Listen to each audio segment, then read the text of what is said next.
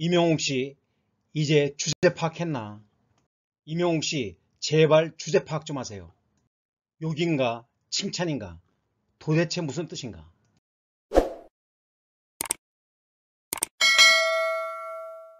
이명웅 씨 이제야 주제 파악 좀 되신 것 같아요.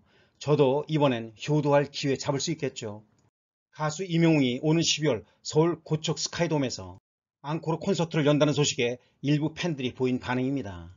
지난 5월부터 전국 투어 단독 콘서트에 나섰던 이명웅은 지난 14일 공연 마지막 무대인 서울 콘서트에서 앙코르 계획을 발표했으며 2만여 석의 고척돔 입성은 트롯 가수 최초입니다. 그런 그가 이제야 주제 파악이 됐다니 무슨 말일까?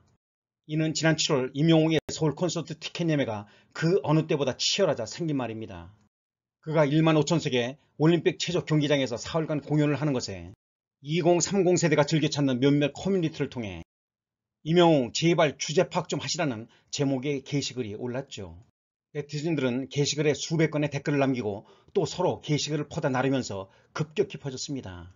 언뜻 보면 악평인가 싶지만 내용을 뜯어보면 정반대입니다. 왜 6만 녀석의 잠실 주경기장이 아니고 좌석수가 적은 체조 경기장에서 하느냐 나 포함 효누들이 울고 있다. 체조 경기장은 당신을 담기엔 간장종지 체조에서 사흘이 뭐냐 하려면 한 달 내내 해라 등의 애교 섞인 불평이 이어졌으며 그러다 잠실도 작다 호남 평야에서 해라는 반응까지 나왔죠. 팬카페 회원만 18만 명을 넘어선 이명웅의 콘서트는 대표적인 피켓팅, 쇼케팅으로 불립니다.